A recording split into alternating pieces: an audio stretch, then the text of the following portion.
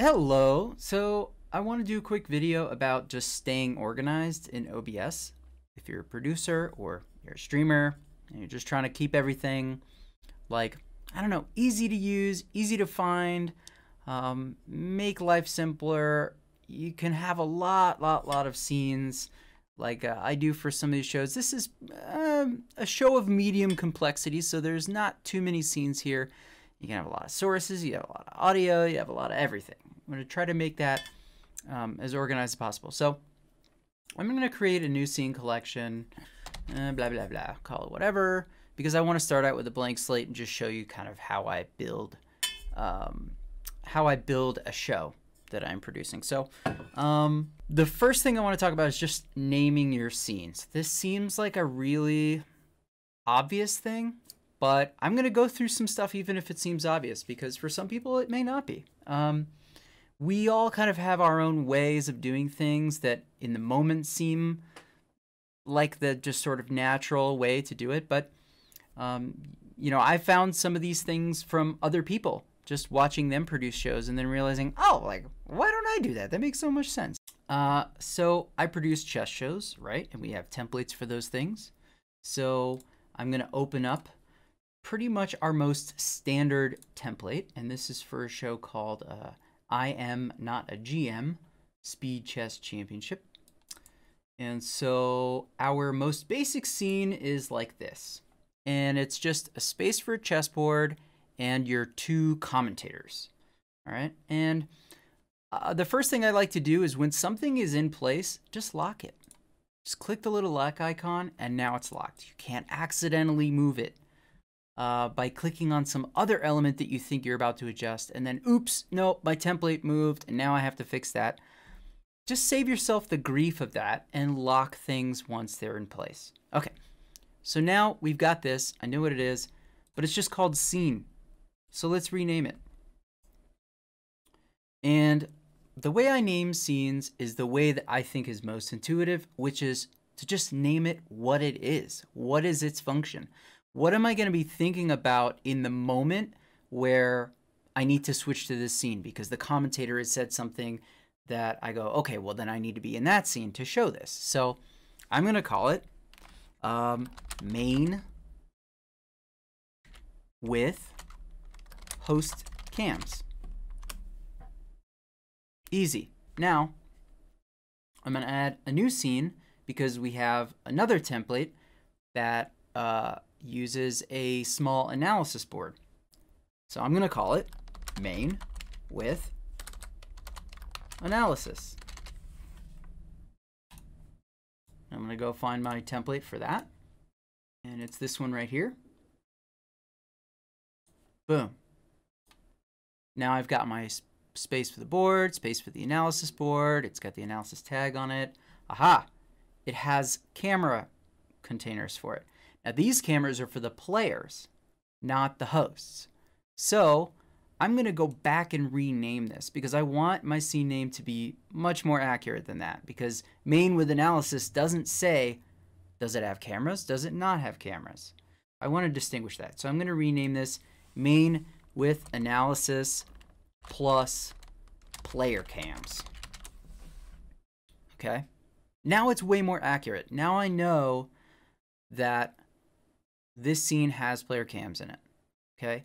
Because there may be scenes with analysis that don't have player cams in it or that have analysis and host cams in it, not player cams or, you know what I mean? So the more complicated your shows get, the more variations on a theme you're going to have.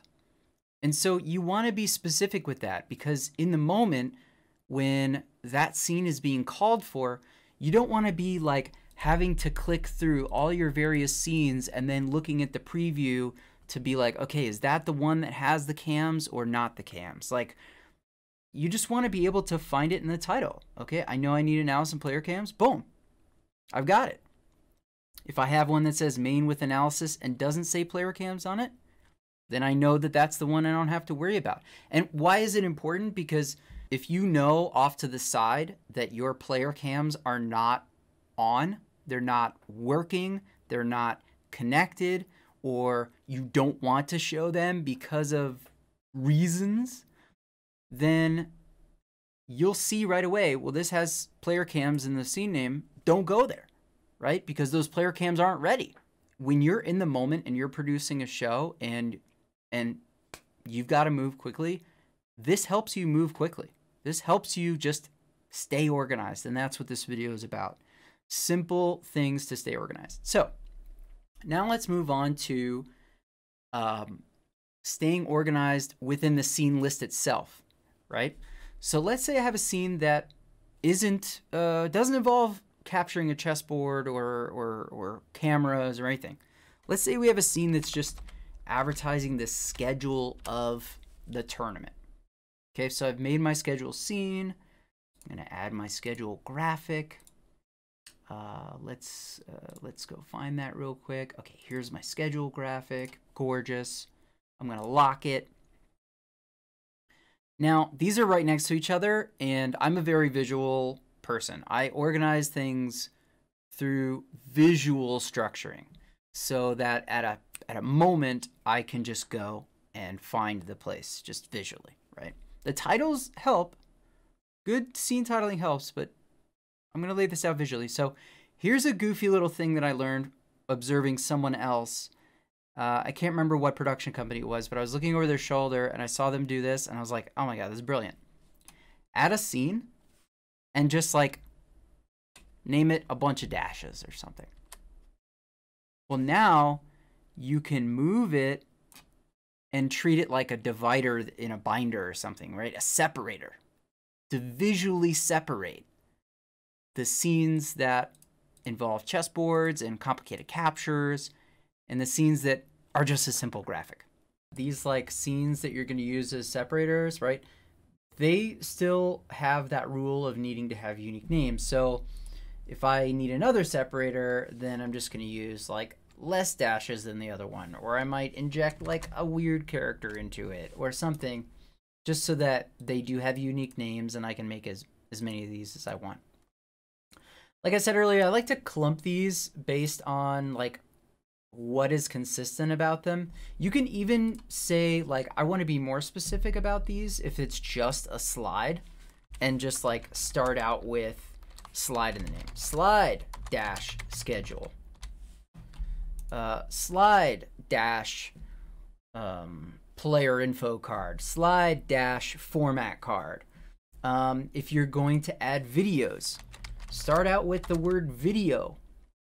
Um, such and such. And then the next one, video dash other name. And and that way, okay, I know that these are videos. I that's one less second that I'm spending searching like, okay, this says format, but it is it is it the format video or is it the format slide? Well, now you don't have to think about that. You just know, okay, uh, slide schedule, video schedule. You know what I mean? Like if you have similar things, just name them in ways that help you categorize them uh, so that it's it's just easier right let's say that inside this scene um, i'm to capture uh, a google doc scoreboard that i've made right well all right so let's add a window capture and let's name it appropriately. Don't just leave it as window capture because then what if you have more than one? You've got window capture one, window capture two, window capture three. Like, what are they? So let's call it something that's going to help. Well, the first thing is if it's a Google Sheet, then I like to name it Sheet Dash. And then what is the sheet? It's um, it's the scoreboard. But what if there are multiple tabs in that one doc, and I'm going to use them as different things? Well, uh, let's say it's the quarterfinals scoreboard. So I'm going to go quarterfinals, right? Maybe the sheet in the doc is called quarterfinals so that I know if this says quarterfinals, make sure that I'm on the quarterfinals tab when I start my show. And then another dash, okay, what kind of window capture is it? If it's in Firefox, then I like to put FF, or you can put Firefox. If it's Chrome, I'll say Chrome. If it's Chrome Incognito, I'll put Chrome Incog. If it's the developer version, I'll put Chrome Dev. You know what I mean? So now I know A, this is a capture of a sheet. B, it's the quarterfinals tab on that workbook. and C, I'm targeting Chrome developer. And then I'll go find my actual window and you do your crops and, you know, good news. Great. Everything's fine. Um, and that way, if I have another sheet in the same scene, it might be sheet, um, player stats, Firefox. Well, now I don't have to like click around and unlock to see the bounding box to figure out which one is which. You just know in the description. You're organized. Okay. Another thing that um, OBS Studio has is the ability to color uh, things. So you can uh, right click a source and you could go set color and you could create custom colors or you could just like pick one of those. And now you've got your, your thing has a color to it. Um, if you like separating things visually that way, that's another organization tool that exists in OBS for you. Uh, and now here's where we're going to get into uh, using scene sources using scenes as sources to not have to repeat a bunch of operations a billion times. I'm going to show you what this means. So I am going to go and grab a Streamlabs uh, alert box from my account. Okay, so let's add the alert box to one of my main scenes. So browser. I call it alert box. I'm to paste the alert box URL. Okay. And let's, I don't know, let's say I'm to put it centered under these cams. Okay. And now I'm to go hit my uh, test, test follow. Okay. And we've got our alert. Great. So, one thing that people typically do is they will just copy the alert box source in one scene. They'll go to another scene and they will paste the reference. Okay, so now the alert box is in the same exact position in both of these scenes, right? So that their design stays consistent. Okay, well, let's pretend that you have 50 scenes. 50 that all have the alert box in it. Okay? And then you have some kind of revision that you do to your template that now you want to change the placement, right, of your alert box. Okay, so here's the problem.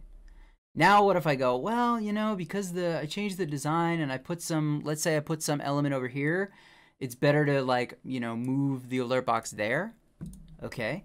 But now you've got to go into every single one of these 50 scenes, delete the old one, because if you don't delete it and you just move it in the other one, well, look, they're not quite in the same spot because you just roughly moved it.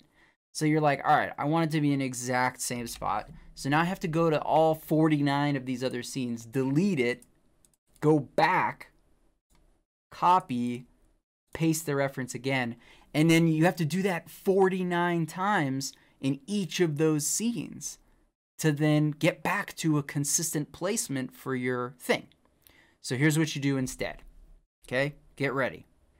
I'm gonna create a scene. I'm gonna call it scene dash alert box because you're gonna see later that I want it to indicate in the source list that it's a scene that I'm targeting and not just its own uh, independent object. Okay, so I'm going to call it scene alert box. Okay. Now let's put our alert box in there.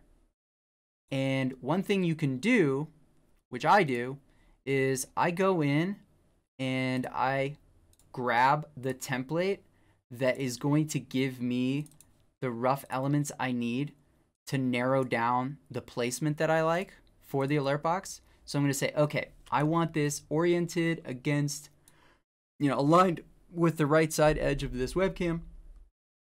And then I'm going to move it down. And then I'm going to say I want the spacing top to bottom between that little bottom bar and the top of the thing. Okay, great. Got my placement how I want it. Lock it.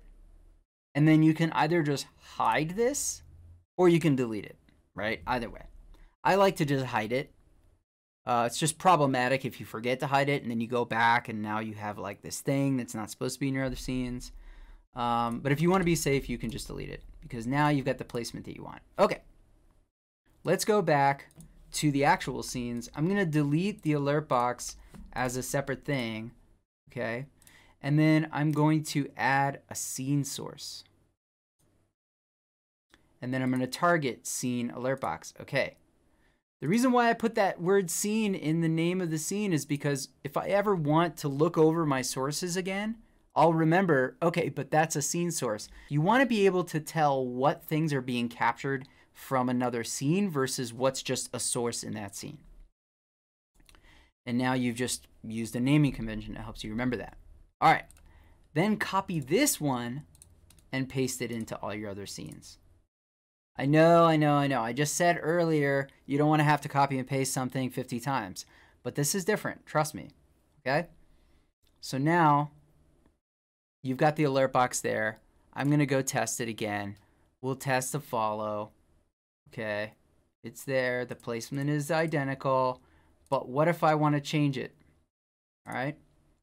What if I change my mind and I decide I want to orient it differently? Okay. So I'm going to bring this in again as, as a as a as an alignment thing that I can use to work off of.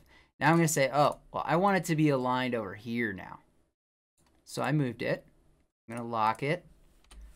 Get rid of my little placeholder. So it's only the alert box in this alert box scene and nothing else. Now I'm going to go back and I'm going to click test again. Boom. The new alignment has applied across the board because the scene is the source. So anything that you change in the scene, it, it, it is being, that scene is being looked at by this scene source. So anything you do in that scene is applied everywhere, right? If I, if I added um, something else to it, let's add a text layer and I'm to say yada yada doobity doo doo doo. Okay. I'll go over there. Guess what? It's there. It's all part of this scene, right? It's just using a scene and it's kind of looking at it with its it's it's accepting its transparency and everything. Okay, and if I move this box somewhere else, it's it's there too. If I delete it, it will delete it everywhere. What you're doing is you're saying anytime I want something to just be consistent among many, many scenes, it's a little bit more organized to just add those elements into a scene on their own and then use a scene source to look at those things.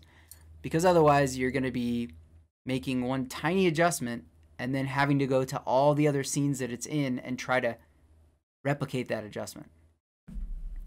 Um, those are some basic stay organized things. If you have other questions, put them in the comment section. If you found some of these tips useful, click the like button. Subscribe because I do a bunch of these videos on different production things, OBS things, tips and tricks, you name it. I have a how to series if you're a new streamer and you want to start from zero to hero. I have everything you need to install OBS and get yourself streaming. So, um, see you later.